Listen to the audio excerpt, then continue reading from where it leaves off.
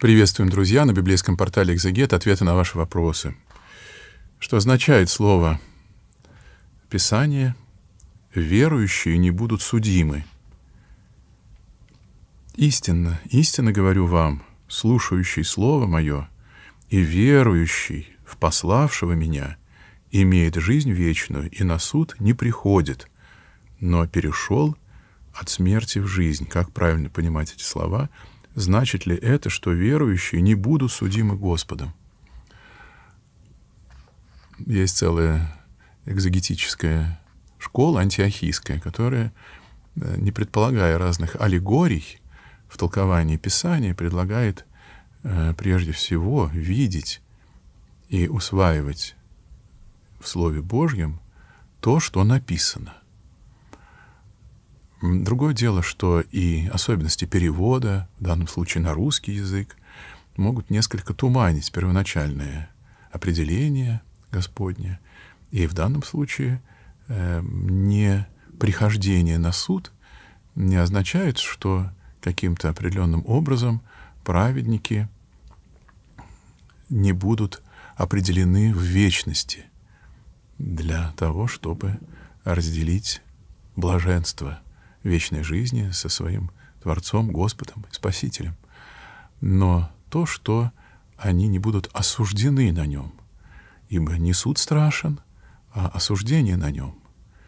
И суд, по определению святителя Феофана Затворника, э, состоит в обнаружении советов сердечных, не в каком-то судопроизводстве по земным меркам, когда один выискивает поводы для осуждения подсудного, другой, а адвокат оправдывает его, и судья, прислушиваясь и к одному, и к другому, определяет в результате э, основательность тех или других доводов и либо оправдывает, либо э, приговаривает к наказанию виновного.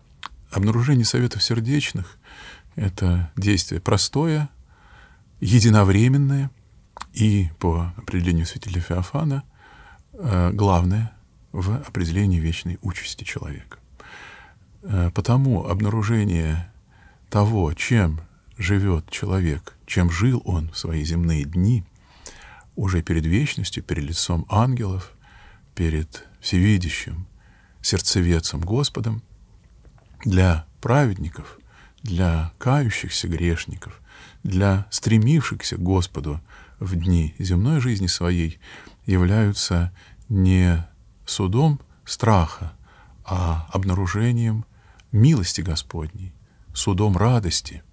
Поэтому неприхождение на суд означает освобождение от того укора совести, который будет запоздалым и уже ничем не поможет той душе, в которой хоть и объявится это запоздалое раскаяние, но не послужит к избавлению от того бремени греха, от которого разрешиться можно было по Господнему установлению только за время своей земной жизни, ибо э, по притче самим Господом э, изложенной после исхода из временной жизни является великая пропасть между Лазарем, проведшим жизнь в терпении и скорбях, страданиях и благодарениях, и немилосердным богачом, а, возле ворот которого этот нищий и умирал всю жизнь телесно, но бодрствовал духовно, потому и после исхода из временной жизни